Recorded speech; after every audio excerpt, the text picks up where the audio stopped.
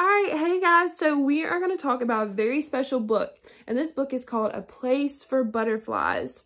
Now, the book A Place for Butterflies is very different from a lot of the books that we have read about butterflies, and normally butterfly books talk about a butterfly or they tell of a story of a butterfly or they tell of the life cycle of a butterfly or they just give facts about butterflies and the places that they live.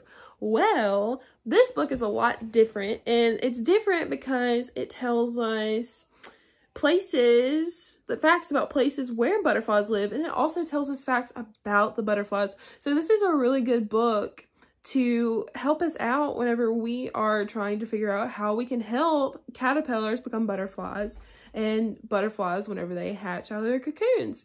So, the book A Place for Butterflies tells of how people can help both caterpillars and butterflies. So, with caterpillars, people can help by allowing natural wildfires to occur.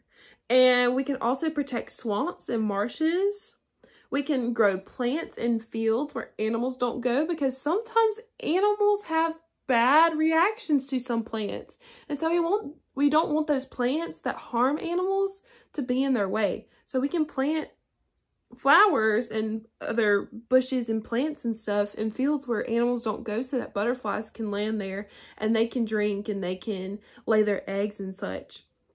And we can also leave plants alone because sometimes baby caterpillars are on those. And if we destroy plants, that caterpillar is gone.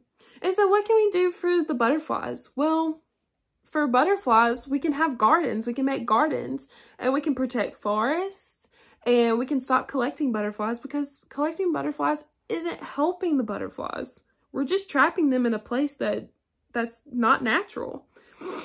We can also stop using chemicals on our plants, such as uh, fertilizers and pesticides to kill insects because those pesticides kill butterflies too. And we can also use native plants whenever we're planting gardens so that we can help butterflies that are native to our area be on plants that are, again, native to our area. Because if they have an exotic plant, we can't help them grow. We can't help them live. And we can also create grassy areas to help butterflies land and for them to have a home and for them to rest whenever they're flying around. And so the book also even gives readers facts about how about many different butterflies and plants that are very helpful to butterflies and why we even need butterflies because some people don't know why. So hopefully a Place for Butterflies will give us a lot of information and is a really good book to read if you want to learn more about butterflies.